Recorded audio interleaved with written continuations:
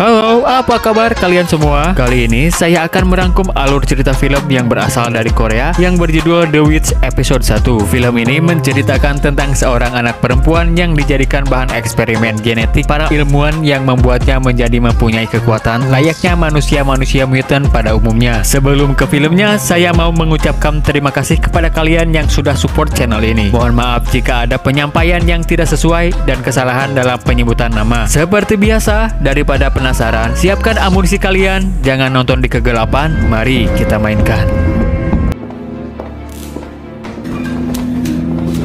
Di sebuah lab, ada kelompok atau organisasi yang tidak diketahui sedang melenyapkan anak-anak yang gagal dalam eksperimen. Organisasi itu dipimpin oleh seorang ilmuwan wanita yang bernama Dr. Beck menyuruh anak buahnya untuk menghabisi anak-anak dengan menyerang kepala mereka karena di situlah letak kelemahannya. Tetapi ada satu anak perempuan yang berhasil melarikan diri ke dalam hutan. Dr. Beck memerintahkan ajudannya yaitu Mr. Choi berserta anak buahnya untuk mencari anak itu.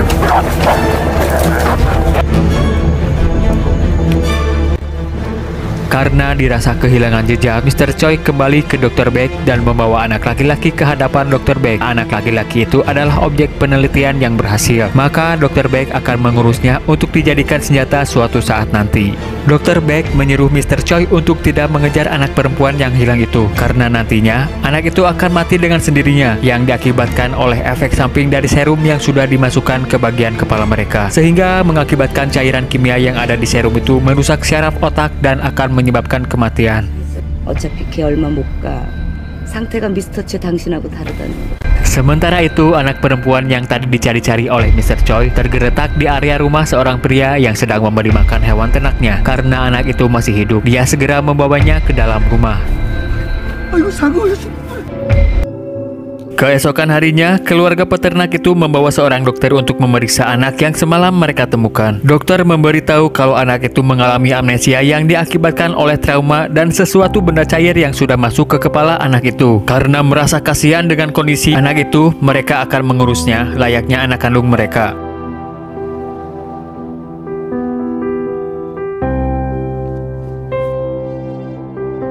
Sepuluh tahun sudah berlalu, di sebuah toko pakan hewan ternak diperlihatkan sekarang anak gadis itu sudah beranjak dewasa dan dia bernama Jayun sedang memohon kepada pemilik toko agar dapat memberi pinjaman berupa pakan hewan ternak. Sudah dua hari hewan ternaknya belum diberi makan karena saat itu sedang terjadi krisis ekonomi maka si pemilik toko itu menolaknya meskipun ia kenal dekat dengan ayahnya.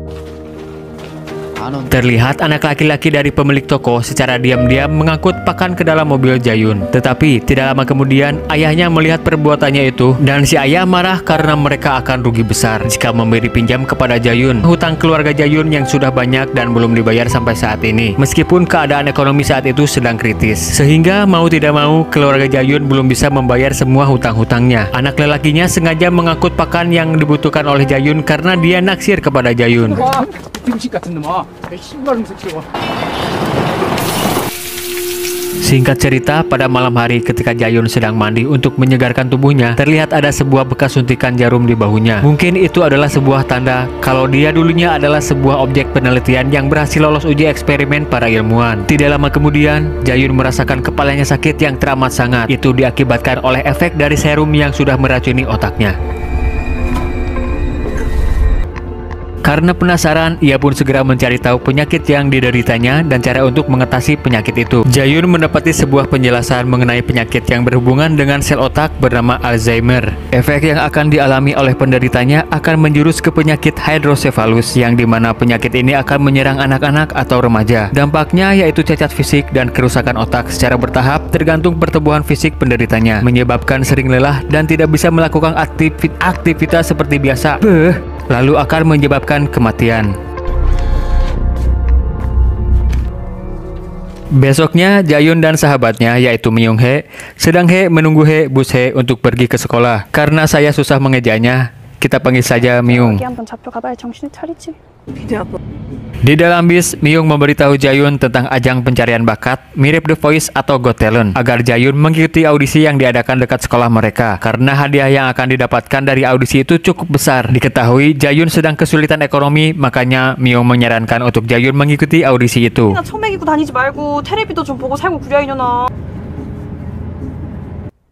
Sepulang sekolah, Jayun dan Miung pergi ke audisi itu. Dengan tidak disangka-sangka, Jayun memenangkan audisi pertama dan akan mengikuti audisi semifinal di Seoul besok. Di rumah, semua keluarga sedang menonton acara siaran ulang audisi yang Jayun ikuti. Kedua orang tuanya sangat bangga karena Jayun memiliki bakat terpendam untuk menjadi seorang penyanyi. Tetapi mereka sangat kaget ketika Jayun di panggung memperlihatkan bakat lainnya, yaitu sulap atau sihir yang dimilikinya, sehingga keluarganya kaget dengan bakatnya yang yang ditunjukkannya. Nyah, nyah. Ketika Jayun akan tidur, tiba-tiba penyakitnya kembali kambuh dan ia mendapat penglihatan tentang Mr. Choi yang berada di dalam hutan saat mengejarnya dulu.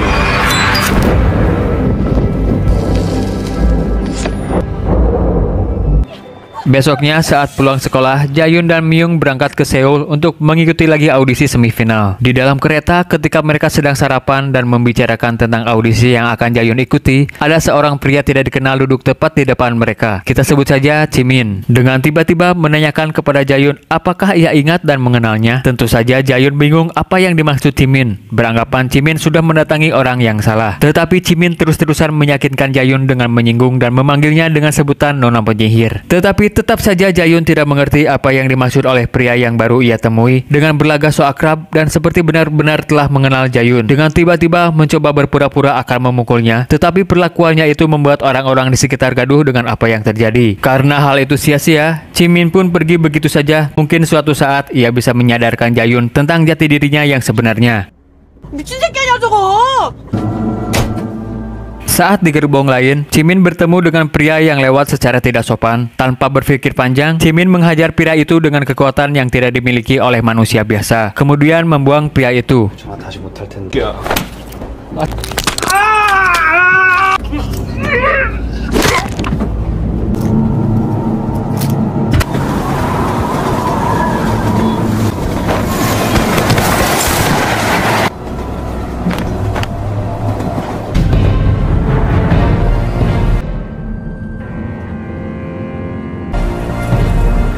Di dalam mobil terlihat seorang pria sedang memperhatikan Jayun di layar monitor yang berada di depan gedung. Balik, balik, balik.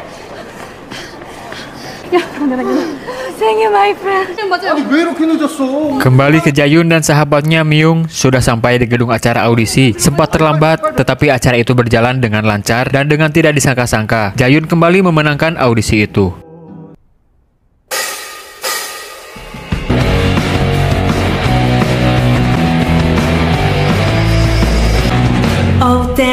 Di sisi lain, Dr. Beck dan Mr. Choi sedang menonton acara audisi itu. Karena Dr. Beck sangat yakin sekali bahwa Jayun adalah anak yang dicarinya selama 10 tahun, yang waktu itu sempat kabur. 푹 쬐다 진작에 뒤졌을 거라고 하지 않았나? 맞네. 맞잖아, 쟤. Diketahui bahwa Jayun adalah salah satu anak yang memiliki kemampuan berbeda dari anak-anak lain yang dijadikan eksperimen. Maka dari itu Dr. Beck berserta komplotannya memburu Jayun agar bisa diteliti lebih lanjut untuk menyempurnakan dan membuat kembali eksperimen genetik untuk dijadikan senjata bagi perusahaannya.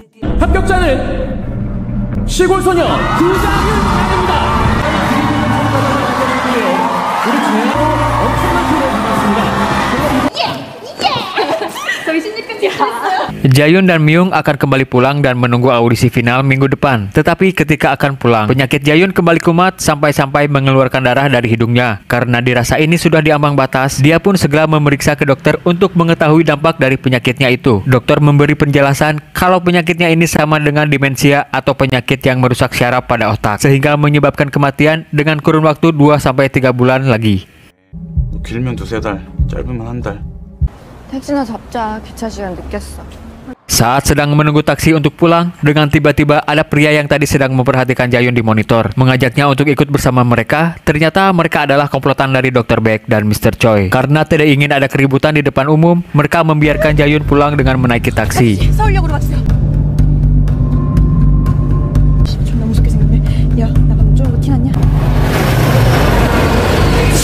Singkat cerita, sesampainya di stasiun dan sedang menunggu bis untuk pulang ke rumah, tiba-tiba Jayun bertemu lagi dengan Cimin dan teman-temannya. Mencoba mengingatkannya lagi tentang siapa Jayun yang sebenarnya. Tetap saja Jayun tidak mengetahui siapa dia sebenarnya.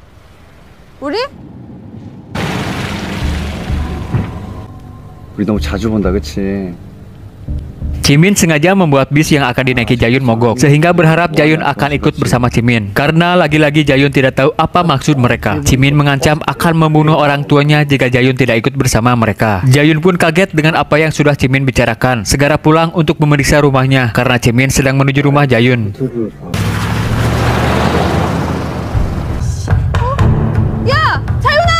야, 너 아저씨한테 빨리 우리 집으로 가보시라고 해요?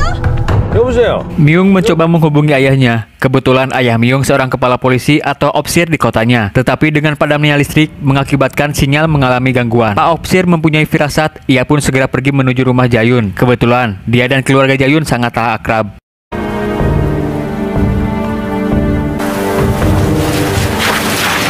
Di depan rumah Jayun, Simin dan rekan-rekan sudah lebih dulu berada di sana. Ia menyangka kalau Jayun bersembunyi di balik keluarga itu karena tidak mau keberadaannya diketahui oleh siapa pun yang berhubungan dengan para ilmuwan dan para manusia hasil eksperimen genetik.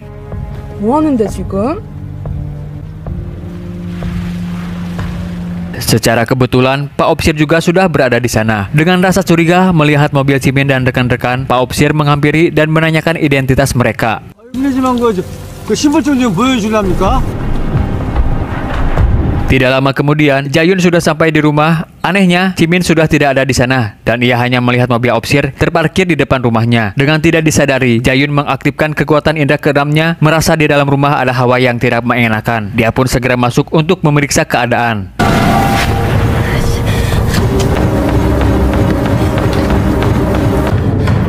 Tibanya di dalam rumah, ternyata ayah Jayun dan Pak Opsir sedang bermain taruhan catur di tengah padamnya listrik dengan perasaan lega. Melihat mereka baik-baik saja. 예, 예, 왔어. 들어와, 얼른. 들어왔다. 응, 들어왔어. 장이야. 아, 들어가. 예. 아이, 근데 그, 아까 걔들 말이요. Ketika hendak pulang, Pak Opsir bertanya kepada Jayun kalau tadi ia menegur orang-orang di dalam mobil yang terparkir di depan rumah dan mencurigakan. Diketahui kalau Cimin dan rekan-rekan hidup dan besar di Amerika. Jayun menyangka kalau mereka hanya mengira Jayun adalah orang yang mereka cari. Pak Opsir mewanti-wanti agar berhati-hati dengan orang yang tidak dikenal dan mencurigakan. Balelolnya, eh. 가.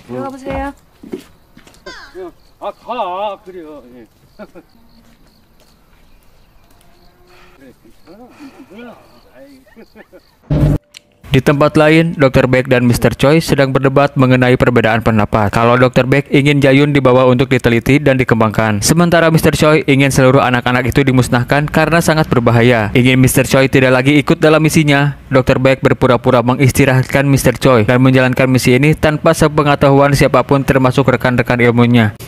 Nah, maka dari itu Dr. Beck melenyapkan semua rekannya yang menolak untuk kembali bergabung dengan ren- rencana re- rencananya. 말 그대로 쉬시라는 거지.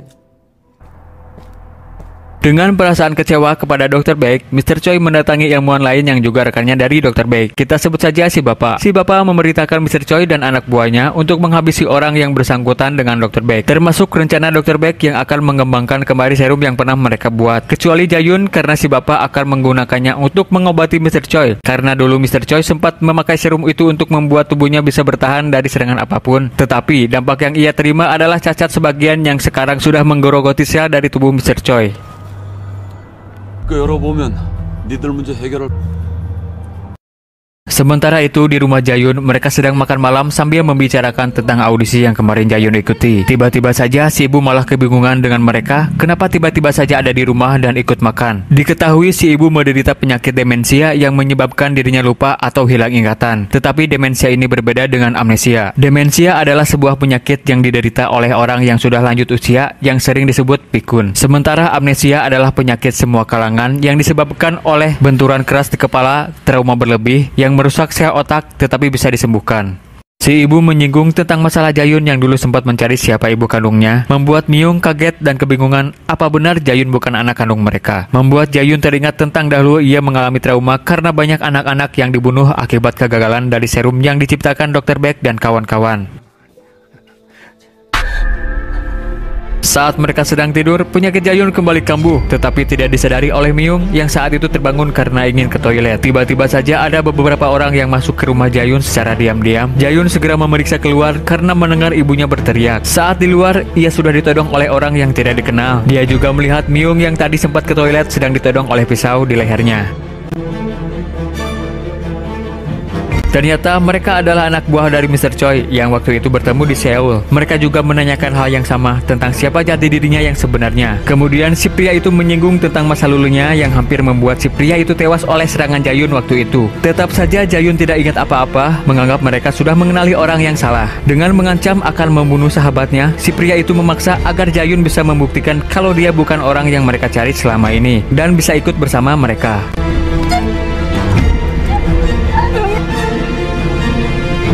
Dengan situasi terpojok dan Myung sudah dilukai lehernya dengan belati, Jayun tiba-tiba mengeluarkan kekuatannya dan menghabisi semua anak buah Mr. Choi tanpa ada kesulitan. Seolah-olah ia sudah terbiasa menggunakan kekuatan yang dia miliki.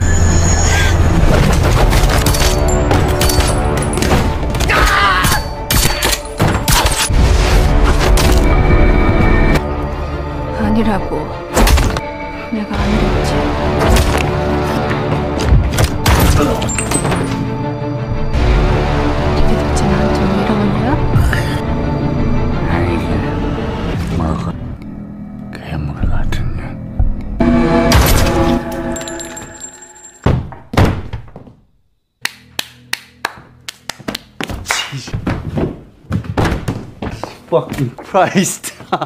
Setelah semua sudah terbunuh, tiba-tiba Cipin dan kawan-kawan sudah berada di sana dan mengagumi kekuatan yang dimiliki Jayun. Semakin yakin kalau dia adalah orang yang dicari Cimin selama ini. Tetapi Jayun tetap saja tidak mau mengakui bahwa dia adalah bagian dari mereka.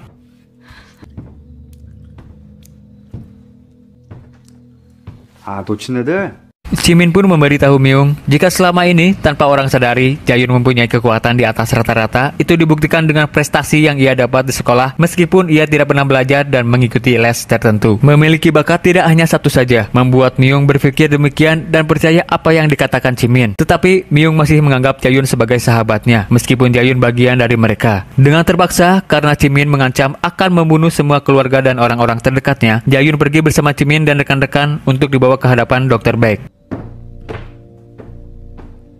우리 엄마 아빠 좀 부탁해.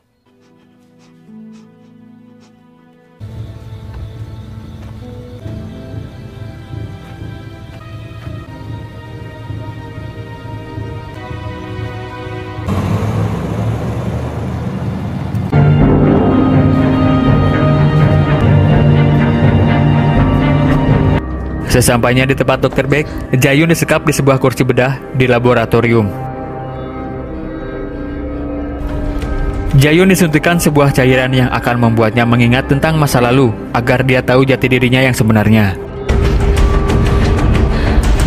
Jayun adalah salah satu eksperimen yang kekuatannya melebihi ciptaan Dr. Beck yang lain karena sel di dalam tubuh Jayun menyatu dengan serum secara sempurna dan berkembang dengan secara cepat. Membuat tubuhnya mempunyai skill imun terhadap serangan apa pun. Meskipun terluka parah, secara cepat tubuh Jayun bisa beregenerasi dengan sendirinya, mirip dengan Wolverine atau Deadpool. Tetapi ada kelemahan yang membuat sel otak Jayun terganggu sehingga bisa mengakibatkan kematian. Saat ini Dr. Beck sudah menciptakan serum yang bisa mengobati kelemahan Jayun, tetapi serum ini hanya bisa bertahan selama satu bulan. Itu dibuktikan ketika penyakit Jayun kambuh, kemudian salah satu anak buah Dr. Beck yang berjaga di dalam segera menyuntikkan serum itu untuk membuktikan bahwa serum ciptaannya berhasil menangkal kelemahan Jayun dan memicu adrenalin sehingga kekuatannya bisa aktif dari cooldownnya. 널 죽음과 고통에서 구원해 줄 수 있는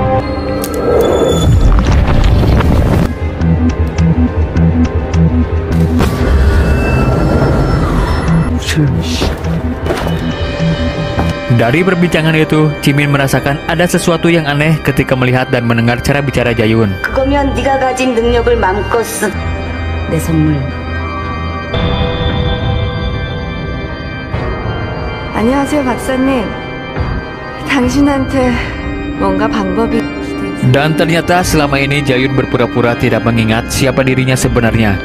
karena Jayun tahu kalau Dr. Beck mempunyai solusi tentang kelemahan yang dimiliki Jayun. Maka dari itu, Jayun sengaja memunculkan diri di audisi pencarian bakat waktu itu agar ia bisa ditemukan oleh Dr. Beck. Ternyata bukan Jayun yang sudah ditemukan oleh Dr. Beck, melainkan Dr. Beck lah yang sudah ditemukan oleh Jayun. Rencananya untuk mengobati penyakitnya berhasil. Karena obat itu hanya bertahan selama satu bulan, maka Jayun akan mengambil semua sampel obat dari Dr. Beck dengan segala cara yang dilakukan agar Jayun tidak menyerang Dr. Beck. Tetapi hal itu sia-sia karena Jayun sudah berpikir 10 kali lipat dari orang normal.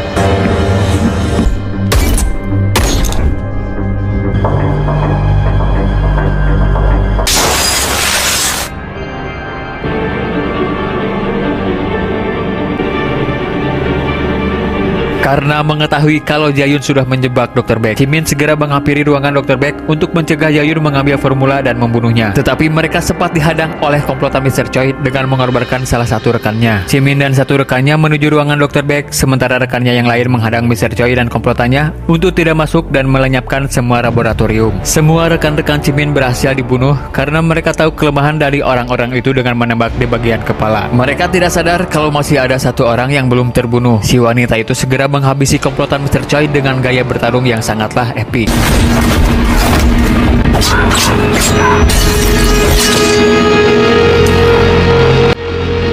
Sementara itu, Jayun yang berhasil melukai Dr. Beck menyeretnya dan mengancam akan melenyapkan semua hasil dari eksperimennya, tidak terkecuali dengan Jimin dan kawan-kawan.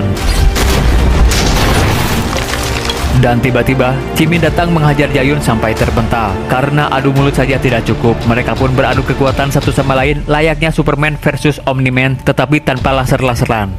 진짜 옛날이나 지금이나 그랬으면 오늘 내 손에 죽는 일은 없었을 텐데 지금이나 이 오라버니 죽...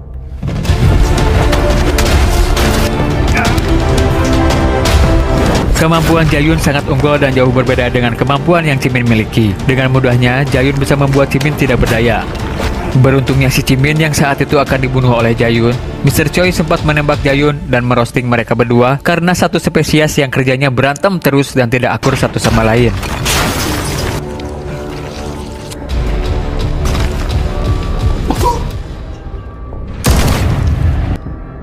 굿샷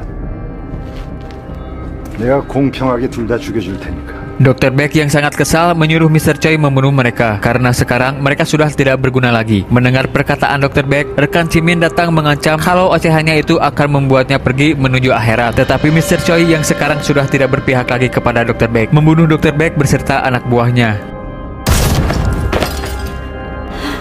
미스터 체 아니 이렇게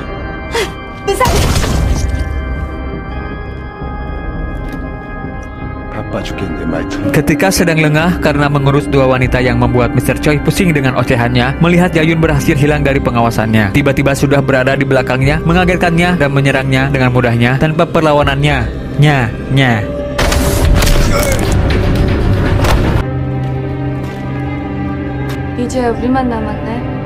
Cimin mengajak Jayun berdua dengan imbalan jika Jayun bisa mengalahkannya. Jimin akan memberitahu formula yang diciptakan berasal dari mana.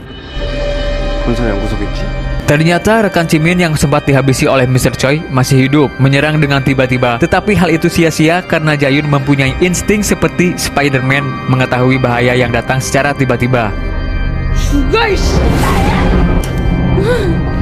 Jayun menunjukkan kekuatan sebenarnya dengan hanya menyentuhnya saja, membuat organ yang ada di dalam kepala si wanita itu hancur.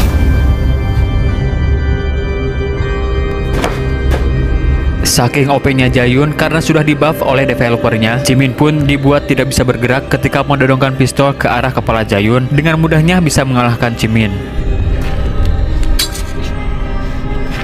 Dengan menggunakan jurus Naruto yaitu Hotbah no Jutsu yang dikiranya akan menyadarkan Jayun untuk tidak berbuat sesuatu di luar kon di luar kendali.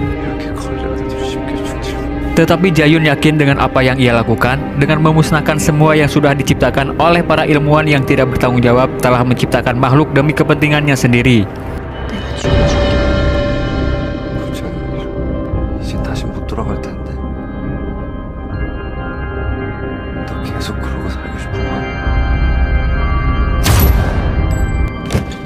Jayun berhasil mengambil formula di dalam brankas lab dan menghancurkan tempat itu dengan membocorkan gas.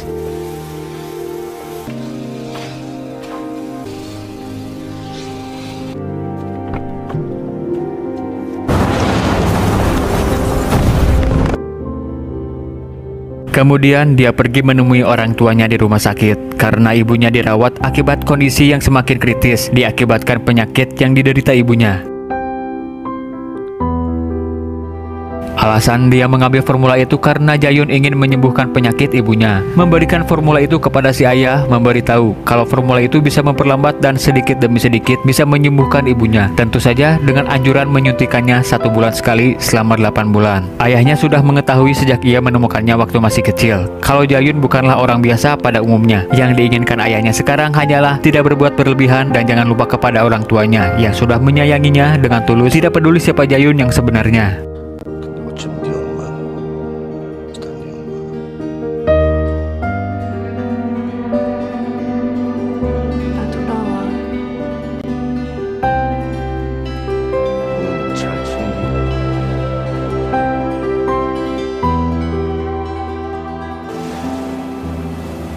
Tiga bulan berlalu, di sebuah rumah di pinggir pantai diperlihatkan seorang profesor yang sangat mirip dengan Dr. baik dan Jayun sudah berada di hadapannya secara tiba-tiba. Ternyata profesor itu adalah kembaran atau saudari dari Dr. baik yang juga ilmuwan dari proyek penciptaan gen manusia mutant.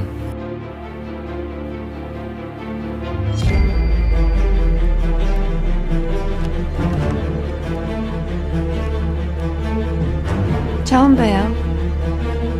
Jayun memperlihatkan formula obat bagi kelemahannya yang waktu itu ia ambil di lab milik Dr. Beck yang sekarang sudah ia buat sendiri selama tiga bulan. Alasan Jayun mendatangi saudari Dr. Beck adalah kalau Jayun ingin si profesor itu membuatkan formula yang lebih permanen ketimbang yang hanya bertahan dengan waktu tertentu.